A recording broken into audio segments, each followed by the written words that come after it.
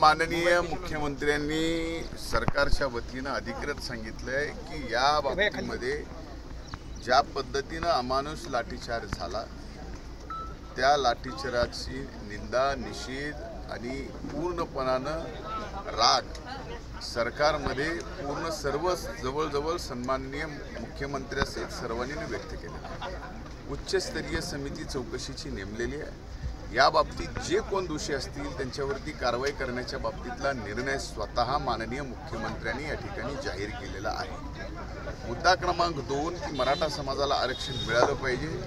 त्या आरक्षणाच्या बाजूनं मी स्वतः एक कार्यकर्ता आणि या आरक्षणाचा चळवळीचा एक कार्यकर्ता म्हणून तेवीस वर्ष बांधतो त्यामुळं स्वाभाविकरित्या मराठा समाजाला आरक्षण मिळालं पाहिजे ही भावना पहिल्या आमच्या दृष्टीनं महत्त्वाची आहे. कायदा केलेला असताना सर्वोच्च न्यायालयाने तो कायदा या ठिकाणी पूर्णपणाने कायदा चुकीचा आहे म्हणून खारिज झाल्यानंतर हा आरक्षणाचा पुन्हा नव्यानं पेच निर्माण झाला.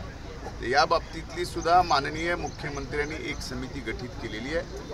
आत्ता नव्यानं वेगळे प्रश्न आरक्षणाचे निर्माण झालेले आहेत आणि ती समिती त्या ग- याच्यावरती पूर्णपणानं अभ्यास करून सरकारकडे अहवाल देईल आणि हे सरकारसुद्धा आरक्षणाच्या बाजूने आहे.